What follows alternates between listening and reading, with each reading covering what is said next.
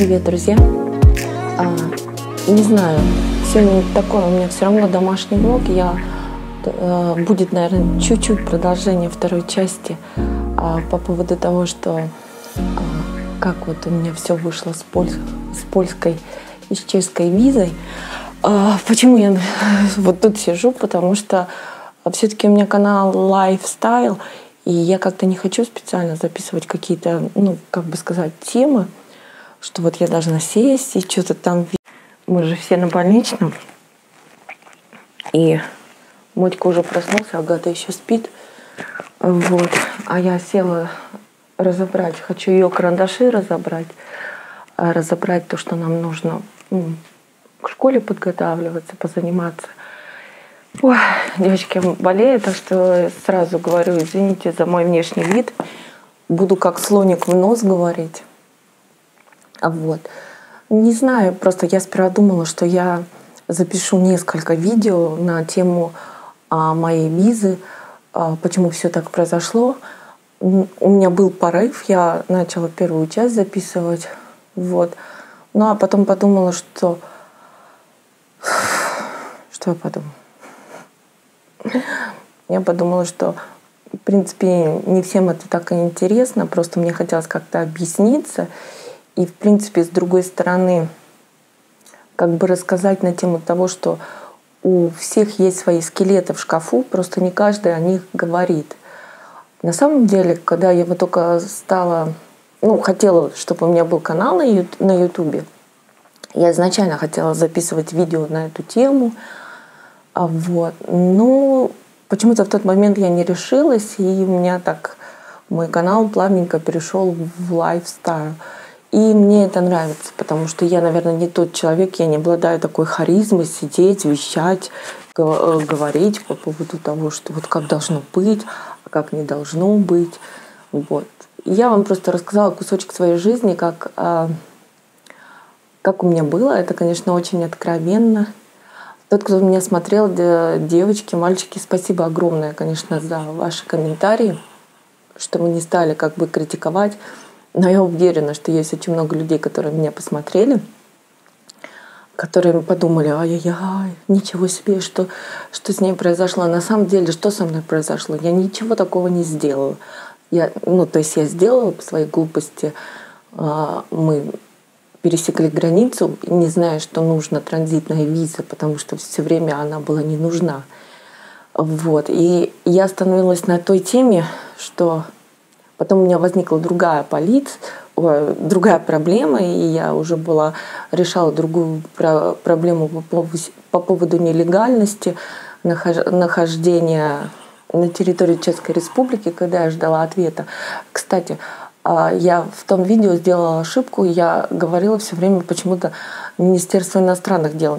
Не Министерство иностранных дел, а Министерство, э, Министерством НИТРО. А, вот, внутренних как бы дел. вот. И не буду уже углубляться в проблемы. А, с помощью моего адвоката мы смогли доказать, что я ни в чем, э, я не была виновата.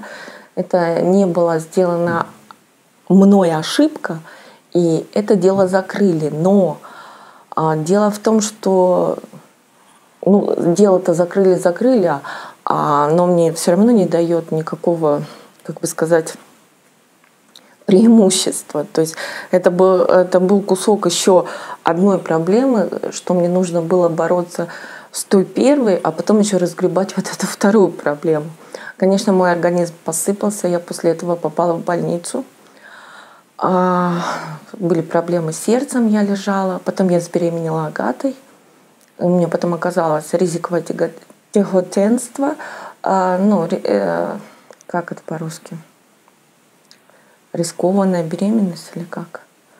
А, ну, все на фоне того, на, не, не потому что я не ликвид какой-то, а все на фоне нервов, стресса. Вот. Я, конечно, не умела бороться с этой проблемой. Я такой человек, я уже сто раз говорила и в Инстаграм писала, и говорила, что я такой человек, я человек без кожи. Вот я вот прям вот все вот ощущаю, вот и все, и все переношу на, на себя. А еще я хотела сказать, что я тот человек, который в принципе не умеет э, врать.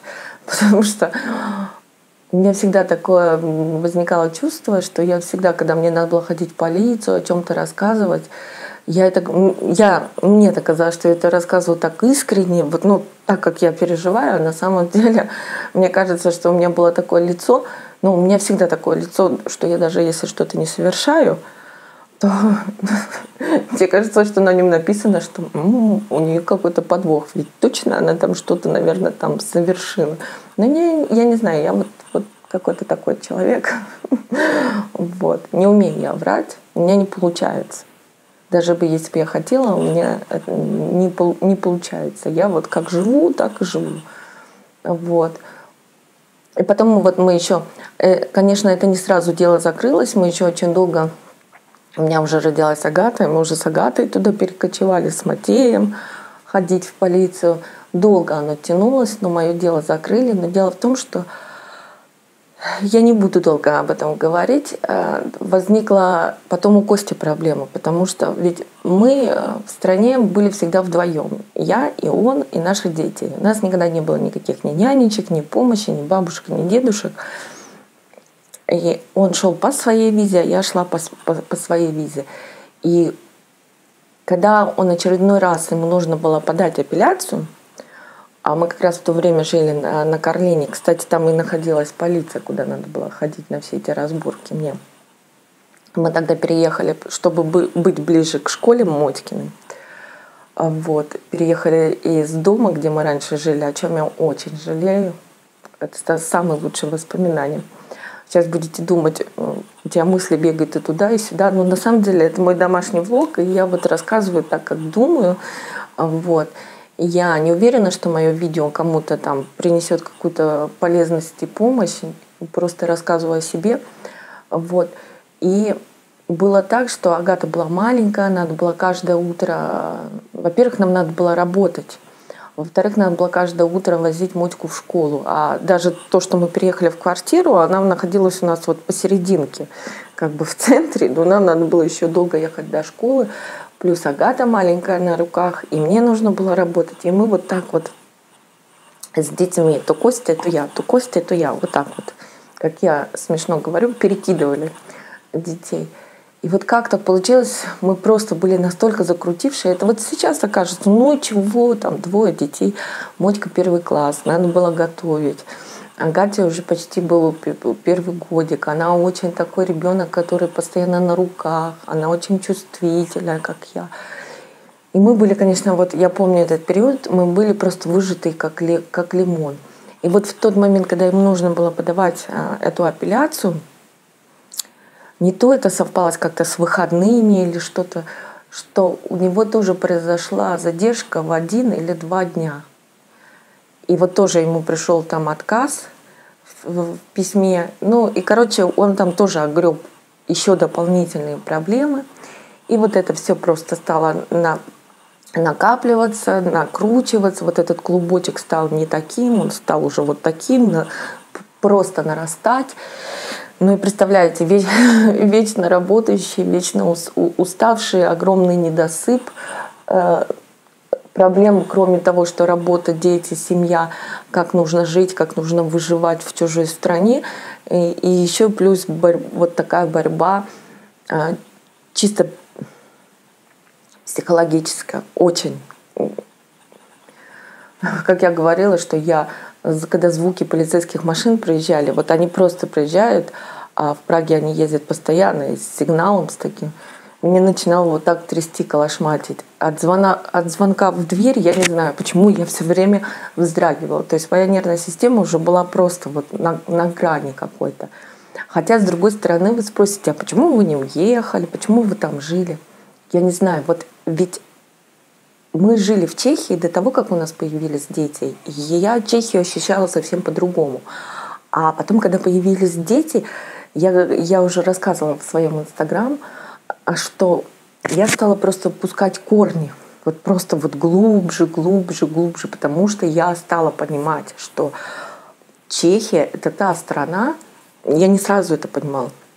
То есть то, что красиво, прекрасно, природа, это я понимала но это страна для детей.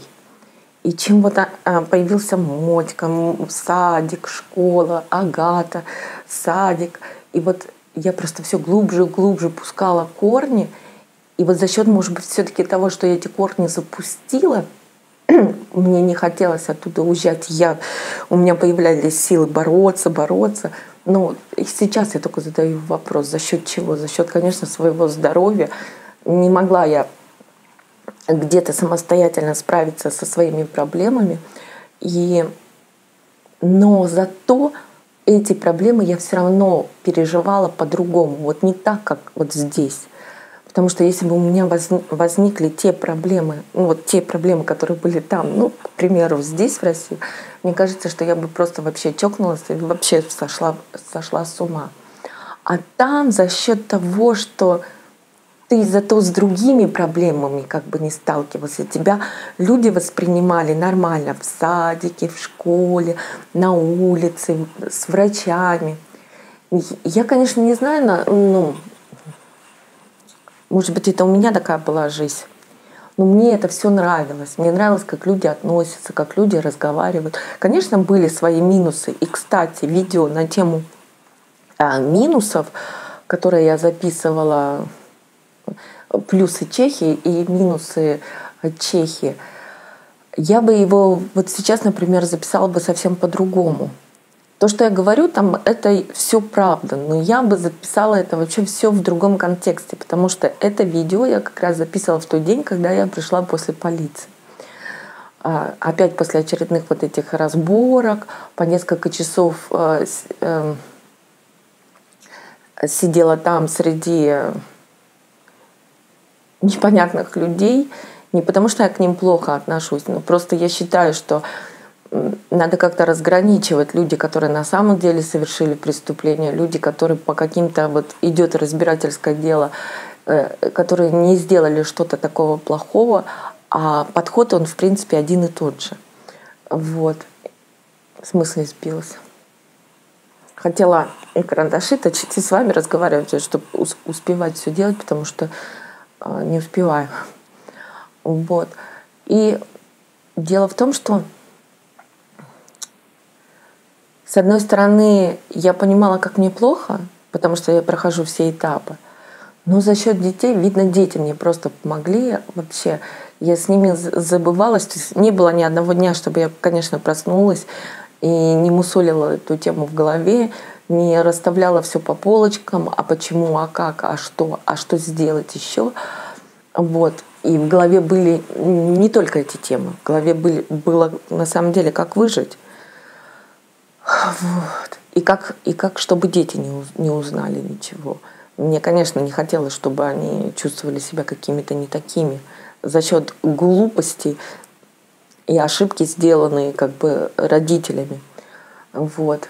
Ну вот за счет, видно, того, что была а, природа, детям нравилось быть в садике, нравилось быть в школе, и а, они, им нравилось быть на детских площадках за счет вот этой природы, какой-то вот этой атмосферы, а, вот эти проблемы как-то, они не решались, на самом деле они не решались. Это было, ну, просто чувствовалось немного по-другому, как-то легче. Но Сейчас, как я делаю вывод, они не решались. Было просто адвокаты, деньги, проблема, раскручиваешь, закручиваешь этот клубок, запутываешь, и просто вот ты бежишь, как белка в колесе на одном и том же месте. Мне казалось, что я бегу, мне казалось, что я этот клубочек раскручиваю потихонечку, и вот, вот, вот, вот, вот я уже увижу там цель. Вот, вот, вот она там. Вот я всем докажу, что я не виновата. Самое интересное, что проблема эта растянулась в 12 лет – а по сути дела уже э, вымазали это а, по-чешски, по-русски стер, ну, стерли из системы СИС, или по-русски это ШИС, а, уже ушло вот это пять лет на Польшу, но я разгребала все с Чехии. И там этот клубок и заворачивался, и закручивался. То есть он, по сути дела, никуда не раскручивался. Но мне казалось, я вижу цель. Вижу цель, не вижу препятствий. Ну и потом, когда у Кости завернули, э, это уже его тема, я ей рассказывать это не буду, ну потому что это как бы я рассказываю то, что я лично решила для себя рассказать. Вот. И, и там надо было раскручивать все. И когда я уже, уезжали, мы из Чехии приняли, а, приняли для себя решение, ну, его просто было не принять, потому что у Кости нужно, Кости нужно было выезжать, и мое, мой ответ по моему решению еще не пришел. Мы просто решили, что да, мы все вместе, мы семья, мы уезжаем. Вот. Что я еще хотела вам рассказать?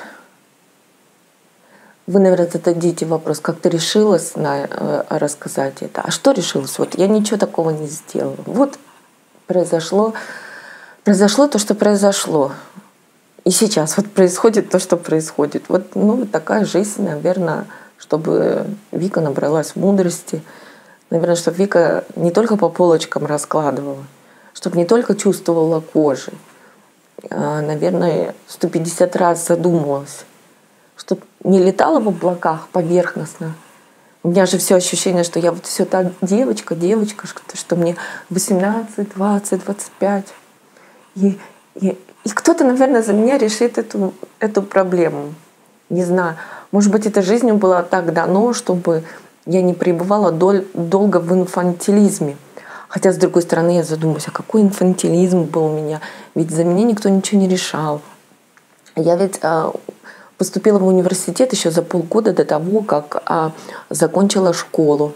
Я ходила, сама ездила на электричках, зимой, мороз, по вечерам, поздно ночью возвращалась, когда это был бандитский Петербург, как мы говорим. Я сама поступала, я сама все, мне, мне, мне так казалось, делала. Я сама работала еще. А, но вот эта внутренняя вот порхающая девочка, наверное, все-таки это был инфантилизм, и мне жизнь так это шандаракнула по голове и сказала, давай, дорогая, бери все в свои руки. Ну а как это брать в свои руки, я сто процентов не знала. Вот. И вот как могла, так и разгребала. Может быть, для кого-то это будет опыт, тот, кто хочет переехать. Потому что я вообще за. Вот я всегда за, что если человек куда-то хочет уехать, переехать, потому что жизнь одна, и, как бы сказать, ничего не изменится, вот что-то быстро там, нужно попробовать и здесь, и там, и там, и там. А кто знает? Никто не знает, где тебе повезет, никто не знает, где тебе удача придет. Вот. Ну, не знаю, не, не, не знаю, я за то, чтобы ребята вы пробовали, вы ехали, но, но, то, чтобы, то, чтобы вам было легко, ребята, перепро перепроверяйте по сто раз. Если вы едете на работу через агентуры, они есть хорошие, но о них надо знать. Я просто никогда не работала там через агентуру, не устраивалась. Я, я знаю, что они есть, но если вы едете через агентуру, ребят, вы должны все равно иметь какой-то определенный запас финансов, потому что в случае чего, чтобы не попасть туда э, в рабство, не работать за три копейки, или ваш работодатель там, понимаете, что-то может сделать не так. Кстати, вот про Чехию не знаю, вот про Польшу читаю, я знаю, что очень много почему-то происходит там именно с работодателями. Например, если человек хочет уйти от этого работодателя к другому, а вы по визе там, вот я я не понимаю всю эту систему, но работодатель может пойти на вас пожаловаться, и вы точно так же можете разгребать проблему с визой. Поэтому, конечно, вот самый подходящий вариант это если есть какие-то знакомые, которые подскажут, как это правильно. Либо просто в интернете рыскать столько информации, вот пока вы не убедитесь, что да, вот я делаю и поступаю правильно. Потому что я совсем недавно просто зашла это не реклама какая-то.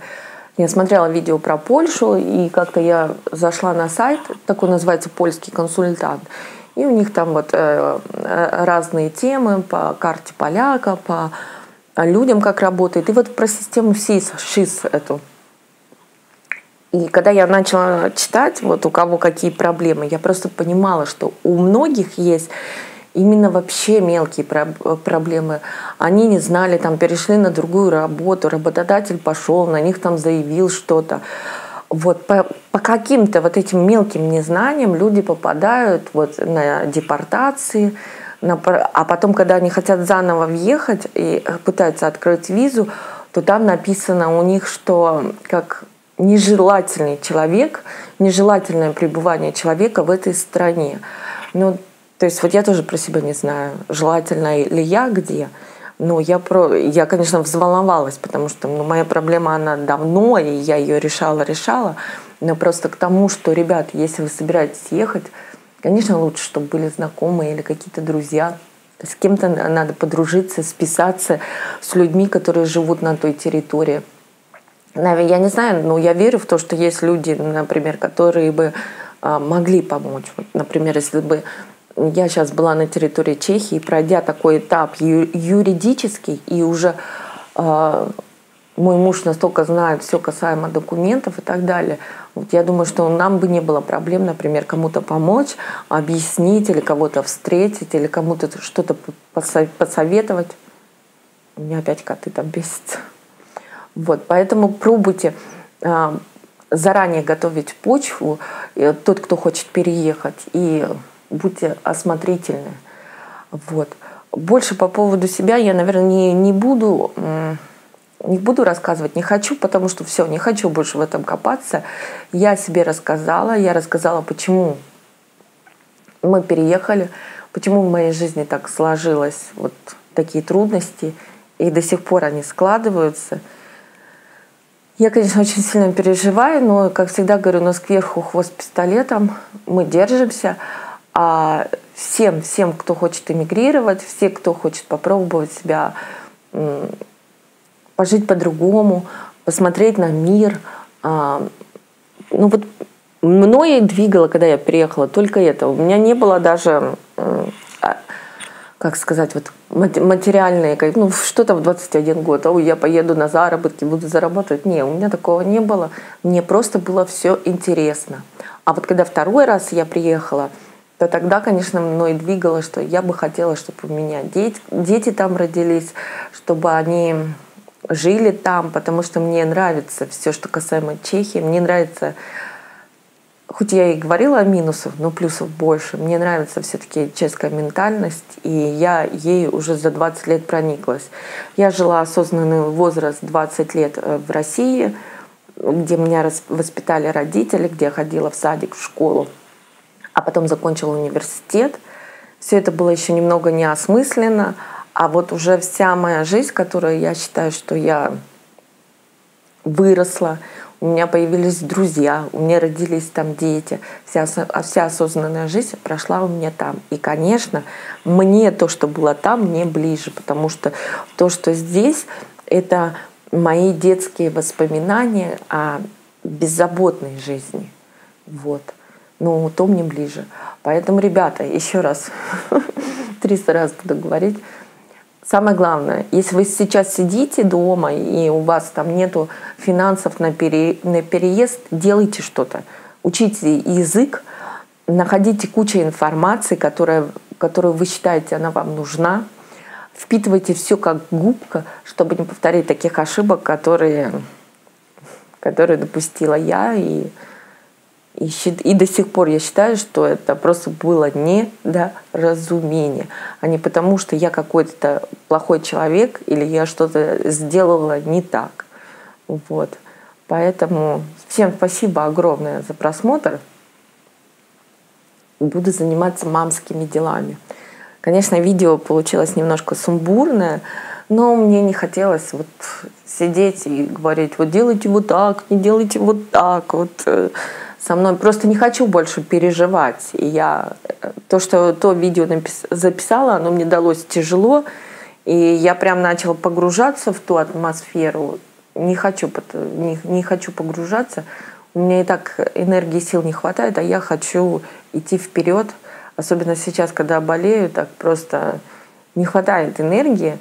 И мне хочется вот о Чехии думать только хорошо, вспоминать только хорошее и стремиться изменить свою ситуацию. И, ребят, не забывайте ставьте лайки или дизлайки, а, вы мне этим помогаете продвигать канал. Что-то я застопорилась, совсем застопорилась. Или у меня харизмы не хватает. Я не знаю, девочки, просто прям вот какой-то ступор.